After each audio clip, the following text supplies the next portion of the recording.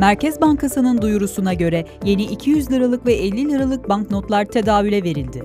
Banknotların üzerinde tek fark değişen Merkez Bankası Başkanı ve Başkan Yardımcısının imzaları. Merkez Bankası toplam rezervleri üst üste 11. haftasında da geriledi ve 718 milyon dolara düştü.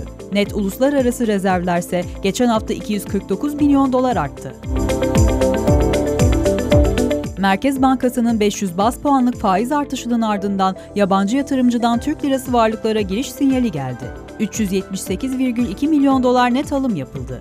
Yerlinin döviz mevduatı da 2,7 milyar dolar geriledi.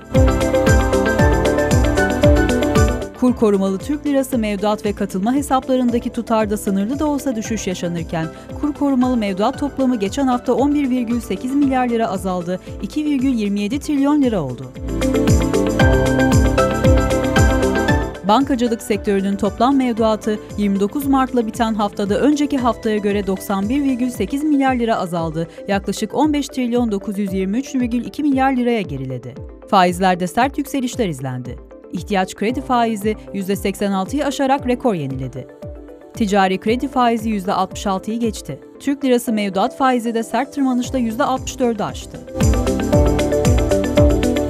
Dış ticaret açığındaki belirgin daralma sürüyor. Ticaret Bakanlığı'nın geçici verilerine göre Mart ayında ihracat 22,6 milyar dolar, ithalat da 30,1 milyar dolar olarak gerçekleşti.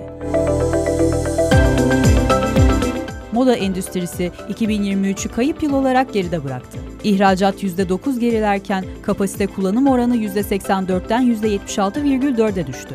Ege Hazır Giyim ve Konfeksiyon İhracatçıları Birliği Başkanı Burak Sertbaş, bu yılın son çeyreğinde bir toparlanma bekliyoruz dedi.